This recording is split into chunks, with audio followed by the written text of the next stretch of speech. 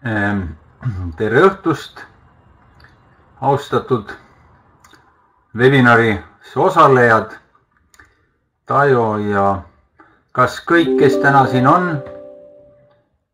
jah, ja, ja Tajo ja me oleme kolmekesi praegu. no alustame. tähendab, kuidas mind kuulda on, kõigepealt ma küsiks niimoodi, et ega hääl kuskilt nurga tagant ei tule, andke mulle märku, palun hästi, Tajo, aitäh. nii, eks siis lähme ilusti edasi, need, kes liituvad, need liituvad ja kes ei liitu, las siis olla nii, nagu ta on. sellegipoolest ma räägin teile äh, kõik, mis ma tahtsin rääkida ja peale selle veel natuke isegi juurde. noh, reeglina sellised kohtumised algavad uudistest ehk siis millest turul räägitakse või mida on kuulda seal kuskil linna peal. antud juhul maailma peal meie projektist. ja ma võib-olla alustaks sellest, et äh, äh, on tunda, et äh, seitsmes etapp on noh, ütleme niimoodi finišijoonel. ma võin seda teile puhtalt intuitiivselt öelda. kõik märgid seda näitavad ja see on selline noh, ütleme teile uudis, mida ma ei soovita eriti levitada, aga teiega ma seda jagan, oma sellist noh, ütleme mm, prognoosi, kuna, kuna need noh, kõigepealt me ise oleme selle osalejad. augustikuu tulemused olid meie kapitali poolt hästi tõsised. sai investeeritud poolteist miljonit isegi rohkem. ja see on tõsine summa. nii et äh, ta ületab aasta algseid summasid kahe-kolmekordselt, kui mitte rohkem. isegi kolmekordselt, ma ütleks niimoodi. nii et me oleme tublit tööd teinud, me kõik koos, teie sealtpool ja, ja, ja ka kõik need, kes täna ei saa osaleda. Eesti panus oli ka suhteliselt tõsine ja küsimus on selles, et see on äh, suur ja, ja hästi hea tugi. Äh, noh, on uus kapitali, uus kabinet ilmunud ja see annab paremaid võimalusi. ta küll ei ole esialgu veel eesti keelt seal ei ole, kokku on seal viis või seitse keelt on juba kabinetis võimalik seitsmes keeles ja eesti keel on töös ja see saab lähiajal testimisele ja ma arvan niimoodi, et kahe nädala jooksul ilmselt me saame äh, endale äh, oma äh, emakeelse keskkonna, kus me saame oma investeerimisäriga tegeleda ja oma investeerimisstrateegiat ehitada. nii et mm, see on ka teile uudiseks, võib-olla, võib-olla ei ole, noh, sellest on räägitud küll juba nendel seminaridel, presentatsioonidel, mis toimuvad kaks korda kuus Tallinnas. ja loomulikult ka teistes linnades Pärnus, Tartus ja Narvas homme näiteks on Narvas üritus, kus siis me, me, Raivo Stenman ja mina äh, esitleme äh, seda tehnoloogiat ja võimalusi investeerimisstrateegiat üles ehitada. Äh, tähendab, on ette valmistatud uus pakett dokumente, millest ma täna ka paar sõna räägin ja sellest oli juttu ka telesillal, mis toimus selle nädala laupäeval nii et kõik, kes seal äh, kuulsid, ei kuulnud, nägid, ei näinud, saavad äh, natukene täna sellest ka teada. nii, ja siis võib-olla ma läheks nüüd edasi sellega, et ma tulen selle juurde, kus ma teile kägu eelmine kord ajasin, need, kes osalesid. Äh, ma natuke panin, ma ei pannud natukene, aga küsimus on selles, et ma viisin teilt raskemale teele. tegelikult asi on märksa kergem Äh, ütleme niimoodi, et investeeringu äh, lõpp äh, lõpetamine, ma nimetasin seda lõpetamiseks. siin on küll kõik vene keeles, noh, on niimoodi kabinetis midagi hirmsat ei ole. võtate investiitse või invest, investment inglise keeles, kes mida kasutab. minu sertifikaadid, selle lahti ja teil tuleb ette selline pilt, kus on siis ütleme pakett, mis on lõpetatud Äh, seal on üleval, palju on aktsiaid selle paketiga kaasnenud ja kaasneb. Mm, kas on olemas selles Skyway Capitali sertifikaat. seda saab vaadata, seda saab noh, ütleme salvestada.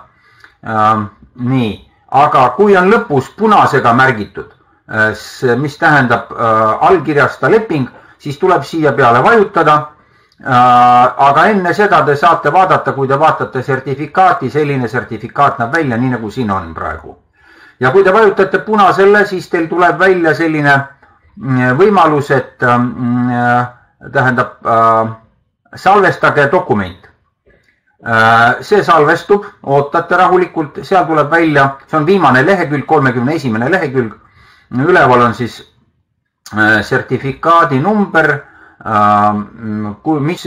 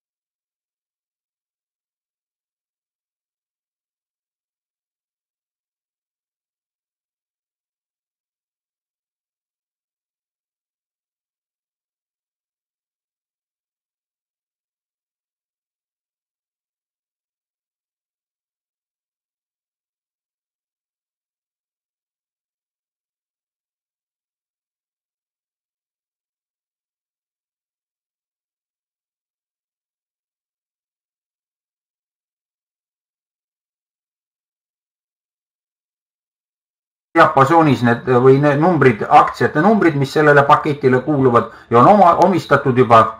nii, ja all on siis teie nimi, antud juhul on minu nimi Vladimir Maslov ja teiselt poolt on Jevgeni Kudrešov ehk siis Skyway Capitali ja First Skyway Invest Grupi peadirektor Mm, see tegelik tema nimi, selle Skyway Capitali tegelik nimi on äh, Äh, First Skyway Invest Group, äh, mis on registreeritud Londonis. ja all on selline äh,, tähendab äh, veel üks äh, märkus, te saate Skatchat ehk siis saate selle võtta endale kuskile ära salvestada, kui see on oluline kellelegi, aga noh, mina ei näe siin erilist vajadust selle. aga kõige olulisem on siin see, et siin on selline ja sa klasin, olen nõus lepingu tingimustega, seal mitte midagi erilist ei ole äh,. praegu on tegemist äh, lepingutega, nii nagu nad on kogu aeg olnud ja siit altpoolt näetegi, et ma siin näitasin teile, et siis no, jooksis minema. et ma olen nõus sellega, vajutate ähm, ja siis tuleb välja teil selline, siin mul ei ole seda, ma ei läinud sellega edasi tuleb välja, et saada ära, ehk siis отправить, vajutate sinna peale. peale seda äh, tuleb selline pilt teile ette, загрузить по operatsiooni braus, esimene, teine stranitsa.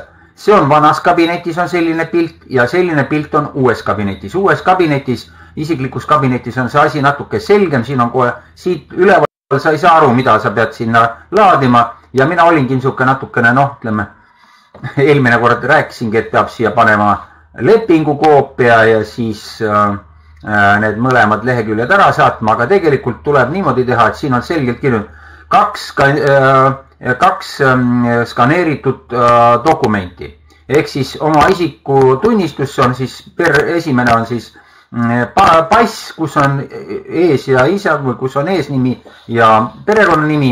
Ja teine on siis see leht, või see dokument, kus on siis saab identifitseerida, kuskohast on teie aadress äh,. see ei tähenda, te peate, te ei pea seal registreeritud olema, aga see on see äh,, mille, noh, millele te ootate mingisuguseid teateid, kui seda on tarvis ja identifitseerite end selle aadressiga.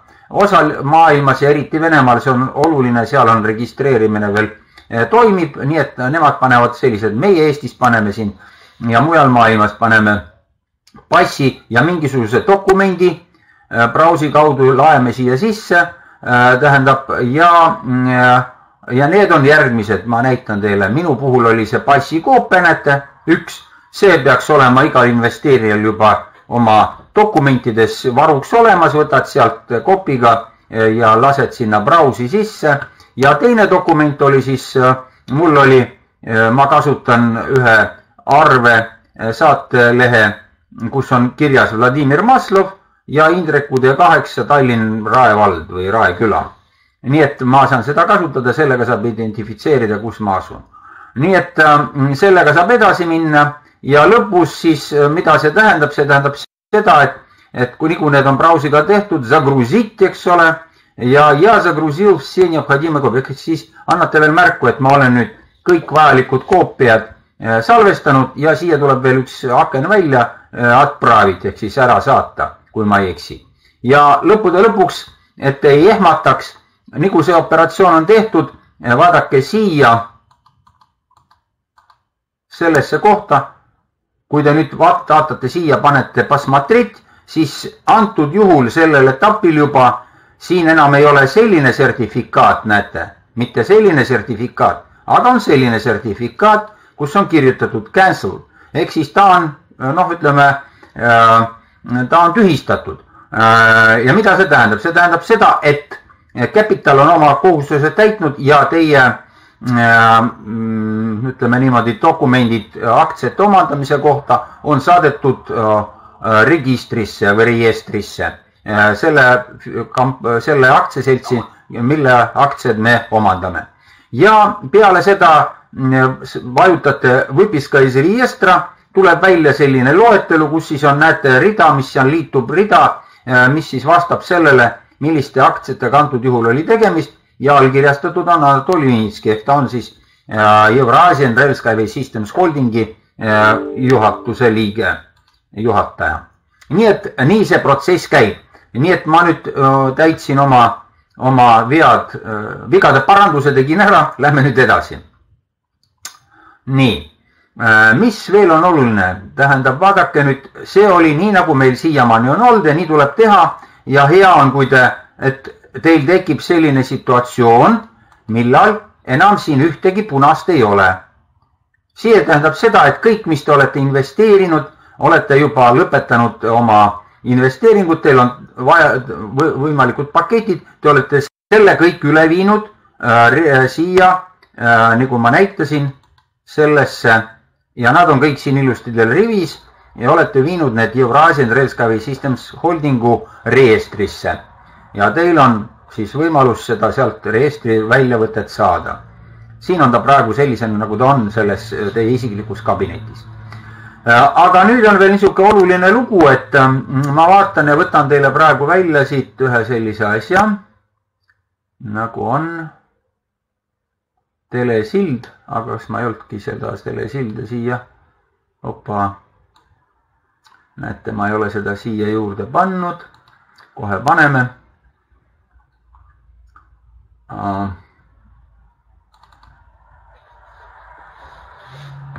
Äh, toimus telesild. Ja nüüd ma muud seal eriti, äh, ma praegu teile muud ei räägi, kui ma võtan ainult ette ja äh, teen veel kord, käin üle sellest, millega on nüüd meil noh, ütleme uues kabinetis ja uue toote ehk siis uue lepingu kasutusele võtmisega, mis meil tuleb. tegemist on järgmiste asjadega. Äh, äh, registreerun Capitalis, saan oma isikliku kabineti, tutvun dokumentidega. vaadake, ma äh, sellest ei ole rääkinud, aga ülimalt oluline on see, siin on küll vene keeles, aga ma tõlgin kõik ära, on olemas selline plokk dokumente, memorandum, see on dokumentide kompleks, kus on siis juriidilised ja ja kirjeldatud kogu juriidiline struktuur ehk siis Global Transport Investment, kes on siis põhitehnoloogia omanik ja omab kõige rohkem aktsiaid. Ja selleks on ta ka loodud. seal on ka Eurasian Railskyway Systems Holdingust juttu, tema dokumendid, tema põhikiri, tema aktsiakapital on fikseeritud ja mm, tähendab kõik need struktuurid, mis on selle projekti realiseerimisega ehk siis ökotehnopargi mm, projektiga ja Skyway projektidega tulevikus seotud äh, äh, firmad ja nende kirjeldused. Ähm, seal on viisteist etappi kirjeldatud vene ja inglise keeles ja seal on siis äh, kõik kirjeldatud, kõik põhitegevused selle transpordi infrastruktuuri kompleksi ja ökotehnopargi loomiseks kõigil viieteistkümnel etapil. tuletan meelde, täna meie oleme veel seitsmendal etapil ja protsess on hoogsalt edasi minemas. seal on äriplaan, eh, selle projekti Ökotehnopargi loomise äriplaan, hästi põhjalik ja sellega saab seal ka tutvuda. Eh, täna veel kõiki neid dokumente ei ole uues kabinetis, aga nagu uus dokumentide pakett läheb käiku, see on ilmselt, ma arvan, et järgmise nädala esmaspäevas. Kus on siis hinnatud, selles äriplaanis on hinnatud projekti efektiivsus Ähm, on kirjeldatud, ülimalt hästi kirjeldatud kõik projekti eripärasused ja äh, seal on esitatud auditid, äh, raamatupidamise auditid nendele firmadele, kaasa arvatud ka Zao Strunni tehnoloogia ehk siis selle äh, firma omad, kes tegeleb selle ehitusega ja projekteerimisega. Ja seal saab esitatud olema ka uus leping, investeerimise, tagatisega investeerimise leping kus on siis kolm poolt, investor, Global Transport Investment ja First Skyway Invest Group ehk siis Skyway Capital. Loomulikult meil kabinetis peab olema selle uue loogika järgi peab olema esindatud värske informatsioon pidev, mis meil on ka siiamaani olnud, nii et järgmine asi on see, millega te peaksite võiksite tutvuda isiklikus kabinetis, see on oluline. vastasel juhul, kuidas ma saan minna kellelegi seletama Äh, sellest asjast, ähm, sellest projektist, vabandust, ja üldse noh, sellest, millega ma tegelen, kui ma tahan sellest rääkida. kui ma tahan kaasata inimesi, aga üheks meie missiooniks ma loen küll, et kui ma investeerin, äh, isegi mitte sellepärast, et ma pean sealt kõvasti midagi teenima, aga see on minu, minu missioon kuna meie kõik oleme liitunud protsessiga, mis toob kaasa uue põlvkonna transpordi ja see ei ole nii lihtne, kullakesed. ausa, armsad äh, kolleegid ja, ja sõbrad. ja veel kord käin üle, investeerimise pakett äh, dollarites, eks ole, paketid, valin sealt, otsustan investeerida, millisesse paketti ja äh, verifitseerun juba isiklikus kabinetis. Vot see on ka uus selline käik, kuna uues, uues kabinetis on äh, edaspidi, kui ma registreerun, meie oleme kõik juba registreerunud, aga nüüd edaspidi, kui keegi tuleb uues kabinetis, tuleb nüüd eh, kohe verifitseeruda, mitte seal pärast, kui sa hakkad äh, aktsiaid omandama. ehk siis enne seda, kui sa hakkad äh, äh, investeerima, sa pead juba verifitseeruma. see on ka oluline. Ja lõpetuseks ma käin veel kord üle, et ma teen investeeringu sada dollarit Skyway First äh,, Sky äh,, First Skyway Invest Grupi ehk siis äh, Skyway Capitali kaudu, mis on siis äh, investeeringu edastaja ja käendaja. Mm, Global Transport Investment annab mulle garantii äh, nende aktsiatega, mis on siis Eurasian Rail Skyway System Holdinguga, nad on tagatiseks äh, selle hetkeni, kui ma otsustan, et ma äh, selle tagatise võtan endale ja ei hakka ootama, millal mulle seda sada dollarit tagastatakse kolme-nelja aasta tagant. Äh, koos, kui selleks ajaks on mingisugune kasum, siis ka saan veel neli protsenti kuni neli protsenti intresse selle, selle summa pealt. aga mul on loomulikult märksa olulisem olla nende aktsiate omanik, nii et see on minu jaoks märksa, märksa olulisem ja siis, kui see on sajaga diskont, siis ma saan kümne tuhande aktsia omanikuks. Need on need sammud. üks ehk siis investeering läheb läbi Global Transport Investmenti. Ökotehnoparki investeeringut on siia läinud, siit saan garantii teine ja tagatise otsustan, et ma selle tagatise äh, kasutan ära, selle käiguga ma saangi aktsionäriks ja algab äh, siis ütleme selle, nende asjade edasiviimine. nii et nii see töötab ja siit ma käin veel üle, siin on küll veel vene keeles, aga ma hästi kiiresti räägin. Need on neli põhiasja. Äh, te teostate investeeringu äh, ja omal soovil, nagu ma juba ütlesin, igal hetkel saate nende aktsiate Eurasian Rail Sky Systems Holdingsi aktsiate omanikuks. Äh, sellega te teete, kirjutate alla lepingu käendajaga ja saate mm, äh, õiguse need aktsiad omandada kohe. Äh, nii et mm, te saate, teil on ka oma võimalus, eks ole, seda realiseerida oma seda õigust mitte kohe, aga kolme aasta jooksul. aga nii nagu ma ütlesin, sellel ei ole erilist mõtet, kuigi selline võimalus on, nii et valikuvõimalus teil on olemas, see on oluline juriidiliselt sellises noh, ütleme tänapäevases investeerimiskeskkonnas. ja neljandaks ja siis on mm, tea, peale seda, kui te olete seda teinud, olete ära tasunud või olete sisse kandnud investeeringu, teist saab olema mm, selle äri kaasomanik ja, sellega riskid on maandatud ehk need aktsiad saate äh, oma enda äh, omandisse. mis sellega, äh, noh, mis sellega kaasneb, jah, riskid on olemas, kuid on ka, mida võita, eks ole. ehk siis saab võita nende aktsiate äh, hinna muutusest, mis kindlasti hakkab kasvama äh,. ja äh, kui täna on üks aktsia üks dollar, siis mina loodan kindlasti, et äh, mingi aja möödudes, aga see aeg on see, kui äh, kapitaliseerumine äh, üha hoogustub, aga mis on kapitaliseerumine, seda on see, et mida rohkem on äh, lepinguid ehituslepinguid ehk siis trasside, konkreetsete äh, transporditrasside ehitus ja objektide ehituslepinguid. Äh, sellega nad kapitaliseeruvad ja see on ka äh, selle tagatis või selle eeldus, et ähm, aktsiate hind hakkab kasvama turul, ähm, väärtpaberite turul, kuhu me pürgime ja selleks olidki välja mõeldud või siis välja planeeritud need viisteist etappi.